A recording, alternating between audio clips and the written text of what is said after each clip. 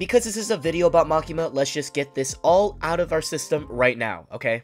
Exhibit Please A. step on me, please. Just one chance. I need one chance. Makima, please, please, one chance. Very please. good. Exhibit B. I need this my step on right now. Please, I just want one chance for her to step on me, please. Please, one chance, please, Makima. Just one chance. Perfect. And Exhibit C. I would literally offer Sorry, you anything. Sorry, sorry, I need just Sorry, one chance. Sorry. Makima, please, just one chance. Step on me, please. Alright, cool. Let's actually get started now, okay? From start to finish, Makima has always been a character shrouded in mystery, with many readers and watchers questioning her real motives and goals. Her mysterious nature and formidable abilities making her one of the most compelling figures in this new era of anime. In the beginning of the series, she's introduced as the strong and powerful teacher stereotype you see in most shonen anime and manga. A character with a mysterious past and is extremely powerful when necessary. But as the story unfolds, her role in the story starts to change from a benefactor to a character that the audience starts to question given her problematic actions. And as these problematic actions start to build up, it's finally paid off with reveal as the Control Devil. Aside from some of her assets, Makima's role as an antagonist has been one of my favorites in recent years, being first portrayed as a protagonist, then slowly revealing her role as the big bad of part 1. Excluding the slow build-up and reveal of her character and true intentions, what I love most about Makima is her consistency. From beginning to end, although her motives may seem contradictory to a devil's nature on the surface level, still acts exactly the same as every other devil we are shown, regardless of how much more intelligent or strong she is compared to them. So today, I really wanted to dive into her character and attempt to look at her in a deeper level. But anyways, let's get started. Makima-san. Makima-san. Daisuki. Daisuki. I love you. I love you. Makima. Makima. Ma. Let's first lay the groundwork of the idea that I'll be referring back to for most of this video, which is Makima's innate nature as a devil. And to make sure you guys really pay attention, I'm gonna put a little bit of Subway Surfers or Brain Rot on the side here. Cool transition! Hopefully it's just not an animation going from side to side. Alright, thank you, Lemoine. For the majority of the devils we see in the series, most of their main motives are there to purely kill and antagonize humans, with most devils being aware of their lack of empathy for humans and their suffering. And while there are some outliers like Power and the rest of the fiends in the special division, I feel that isn't really the case. Starting off with Power. For the majority of the show, it was hinted that Power was only being influenced by Makima, ordering her to stay friends with Denji just so Power was able to fabricate the idea of her being a little sister to him. And slowly but surely, this does start to happen whether it be because of Makima's influence or not. Some people may perceive this as her slowly but surely being able to coexist with humanity.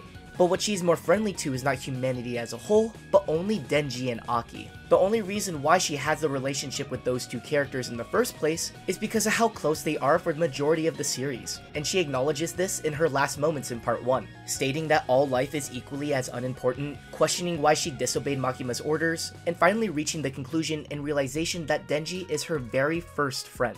Again, she may seem like a friendly devil, but in reality, she's only friendly to Denji and maybe Aki. I'm only saying maybe because it wasn't specifically stated, but it's clear that all three characters have some sort of close relationship.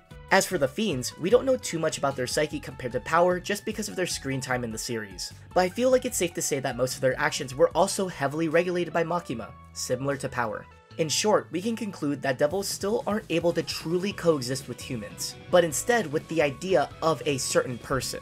And while you can relate this to a certain crayon eating gremlin, we'll get to that section a little bit later in the video. Alright, cool. Subway Surfers, away! Cool editing. Thank you, editing Lemoine, for not making it just boring in the slideshow.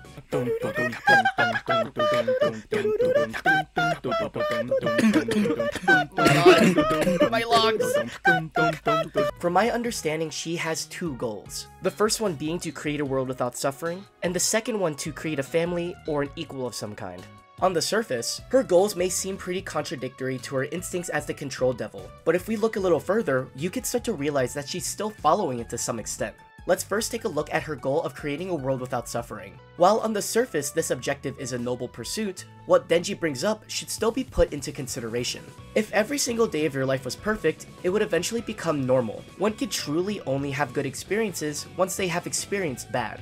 It's kind of similar to The Good Place, when the main characters in that show finally get to essentially paradise, a place where you could have essentially anything you want without consequence, they start to realize that it wasn't the place it was hyped up to be. Because every day was essentially perfect, they had basically no purpose in life, and the brains of the current residents of the good place was eventually melted into mush due to not having any hardships. This is the exact problem. On paper, this is paradise. All your desires and needs are met. And every second of my existence was amazing, but my brain became this big, dumb blob. Because there's no reason to do anything at all, they basically lost all purpose in life without a need to do anything at all. And it's this world that Makima is striving for. Whether it be because of her narrow minded ideals, we should realize that her goal of making a world without suffering would eventually destroy humanity in the process. And it's this idea when you start realizing that Makima really is just still following her devil instincts of antagonizing humanity. Next, let's take a look at her second goal of creating family or an equal. Whether it be because of her upbringing during her first reincarnation as Makima, or from her innate nature as a devil, the reason why she cannot consider any human an equal is because in her eyes, every single human is only considered a dog, beings or creatures lower than her. One of the only entities she considers superior or on equal grounds with is Pochita and in order to achieve her first goal, wants to beat Pochita in a battle so she's able to perceive herself as superior and to use his power to erase suffering from the world. And from a first listen, that might sound pretty confusing, because it is. Almost all of it contradicts her goal of wanting to find an equal. Although looking for one, tries to dominate and perceive herself as more powerful than one of the few entities she considers powerful to create a world without suffering. And while there hasn't been anything in the manga that specifically states that devils are incapable of working together, it does connect with her nature of the specific devil that she is. Which brings me to my next topic. Aiden Ross. There's not a Fortnite player who doesn't know his name. With a with a Mr. Beast collab, he gave 50 Apple Visions to the homeless. He never ends a 1v1 on a loss and never leaves his duo alone. Are you with me, Beta Nation? This isn't a zero build lobby we're glazing right now. I'm talking about the man who always cranks 90s, no matter how many times he hits the Griddy. Aiden Ross. As a control devil, her powers to dominate others extends beyond supernatural abilities, deeply rooted in her psychological manipulation. She meticulously crafts an image of trustworthiness using her charisma, appearance, most definitely her appearance. Oh, mama. she meticulously crafts an image of trustworthiness using her charisma, appearance, and perceived kindness that draws individuals into her orbit, making them susceptible to her influence. Why did I why did I why did I write the script like this? Her relationships, such as the one with Denji, are marked by a careful balance of affection and control, exploiting emotional vulnerabilities to bind them to her will. This duality of nurturing facade and ruthless control underscores themes of autonomy and subjugation, positioning Makima as a powerful symbol of fear and control. This meticulous manipulation, psychological exploitation, and direct control with the use of her power or contracts are her main methods of achieving her goals. Not only that, but her methods still directly connect to her nature as the Control Devil. The road to get there led to the deaths of hundreds of thousands of people and the suffering of many, which again directly connects with her devil instincts. Not only that, but her methods also relate to her need for control, basically puppeteering and controlling almost every single major action that was taken place in part 1. And while you could argue that the ends justify the means, let me remind you that this end would have quite literally ended humanity, not save it. Now for her second goal of finding an equal. Even though she wants an equal, still tries to control one of the few entities she considers more powerful or on the same grounds as. No matter how much she idolizes Pochita, still can't help but reach a conclusion that they have to take control over them. Every single noble action that she does or attempts still leads to the destruction of humanity and her instincts as a control devil. And even her methods to get to this perfect world leads to the suffering of thousands and the control of many. It's this consistency that I absolutely love about Makima's character. Again, on the surface level, it may seem like she's different from the rest, but in reality, she's just doing what all devils do. No matter how special or all-powerful she may seem in the show, she's still a devil, doing what devils do best, but in a more grandeur way. Now you may have noticed I've been neglecting a little crayon-eating gremlin for the majority of this video, and you could argue that her existence could contradict some of the points I mentioned in this video.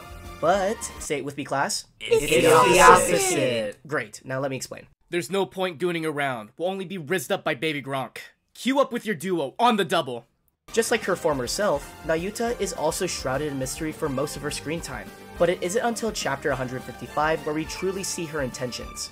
In this chapter, we see her questioning who she really is, going into the mind of Denji and remembering everything she did and her goals as Makima, and finally decides to follow up on those original goals. But slowly and surely, these goals start to go in the back burner, with her becoming more selfish and living out the life she always wanted, finally having an equal. And while this may seem like Denji was finally able to tame Nayuta, finally being able to coexist with humanity, Nayuta is still not able to truly neglect her devil instincts, still wanting to be on the side of devils. What stops her isn't her empathy for humanity, but her personal desire for Denji.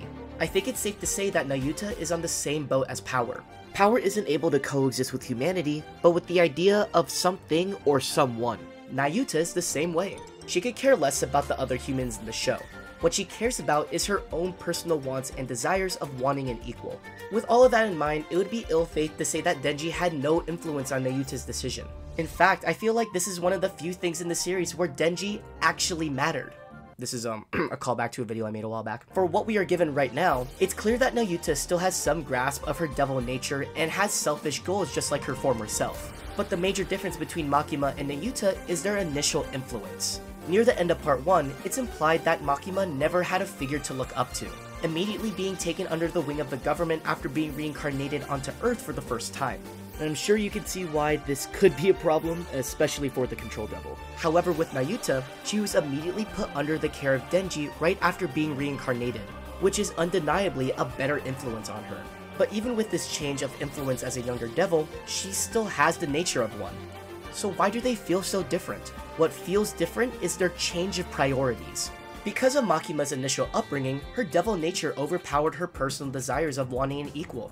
With Nayuta, these priorities flipped, with her putting more importance to her personal desires rather than her instincts as a devil. And regardless of what she prioritizes, is still consistent with her character. Again, it's this consistency that I absolutely adore about Makima and Nayuta. Even with her reincarnation, still acts exactly the same, but just has different priorities given Denji's influence. I like chainsaw yacht. Chainsaw yacht. Chainsaw yacht. Chainsaw yacht. Chainsaw yacht. Chainsaw yacht. Chainsaw yacht. Chainsaw. Chainsaw. Makima is hot. Sorry, let me do that. Makima is interesting. But no matter how she looks, no matter how she acts, or no matter what her actions are, you have to remember that what she is is a devil at heart.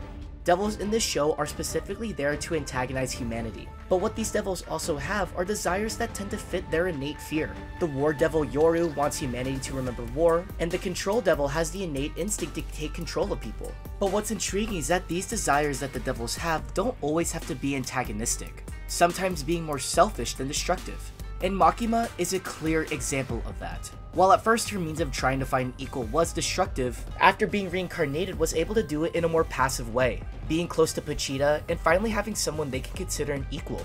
But regardless, still stays consistent with her nature of being a devil. And the more I think about it, the idea of devils having more selfish desires seems so in line with the idea of actual devils. Being greedy, trying to get to it regardless of the consequences and the people around them, and never letting go once they actually achieve it. It's this desire, this greed, this consistency that I believe makes Makima an amazing character. But anyways, guys, that's the end of the video. As per usual, leave some clips in the show. I would actually have like a top 20. Do not Over excessive. There's no uh, Skibidi Toilet Riz Ohio. Yeah, Riz, I should see Mark. Say that every time. Exactly. Let's go like, I'm gonna goon! I And then think go, the I don't know what the kids say these fucking days. I hard don't, I'm not, I'm not informed about it. For sure. I don't know how they sound. I'll be honest. I won!